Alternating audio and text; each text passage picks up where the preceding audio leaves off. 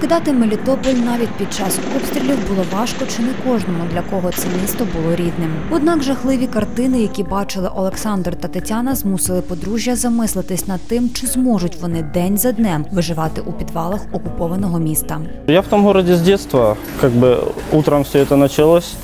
Э, И ну, первое наше как бы, действие, мы вышли, вс- повыходили все соседи, потому что рядом аэродром, взорвался, было видно дым.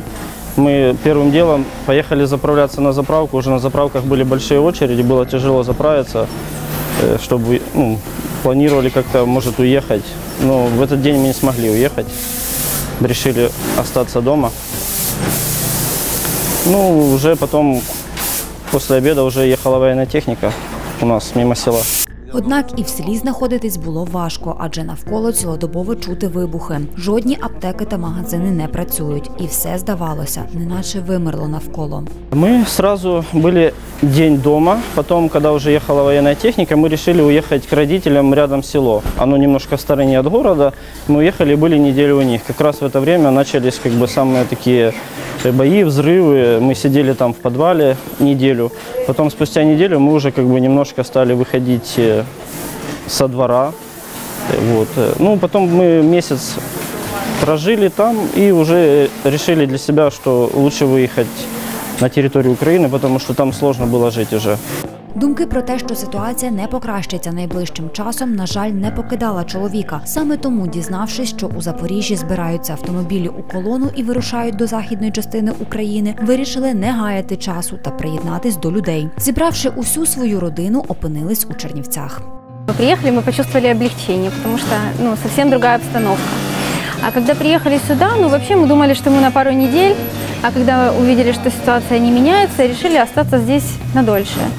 Э, Получили статус переселенцев и начали искать работу. Влаштуватись на роботу молодому подружжю вдалося на швейне підприємство УПАД «Гравітон». Но вообще мы искали любую работу, потому что ну, в такое тяжелое время выбирать не приходится. А эта работа совершенно случайно попалась мне на глаза объявление.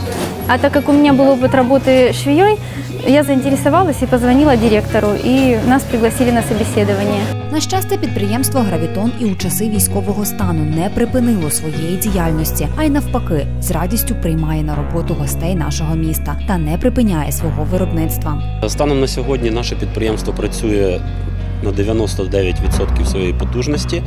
Е, Ми виконуємо замовлення наших іноземних партнерів. З задоволенням приймаємо людей, які переїхали і вимушено переїхали в Чернівці.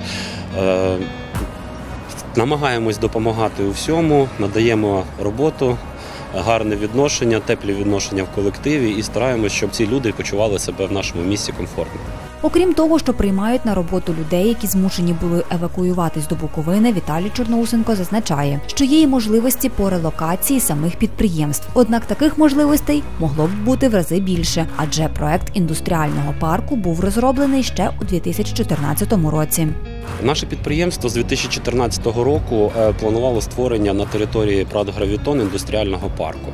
Е, Ми подавали документи е, і виступали з такою ініціативою до міської ради, так як міська рада повинна була стати ініціатором створення індустріального парку. З 2014 року міська рада не зробила жодного кроку, який би дозволив збільшити виробничі потужності міста і створити більшу кількість е, робочих місць, тим самим додати надходження до місцевого бюджету.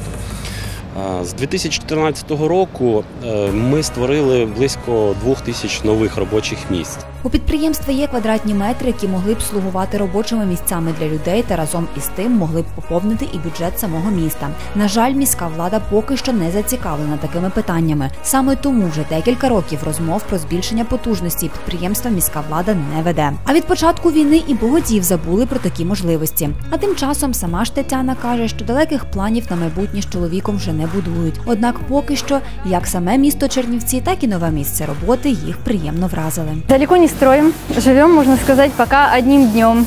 Э, Потому что, ну, хотелось бы, конечно, вернуться домой, но если не получится, то планируем пока остаться здесь. Нам понравился город и, и все хорошо здесь.